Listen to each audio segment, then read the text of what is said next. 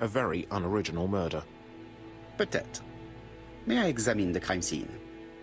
Of course, old chap. I'll be with you in a minute, Poirot.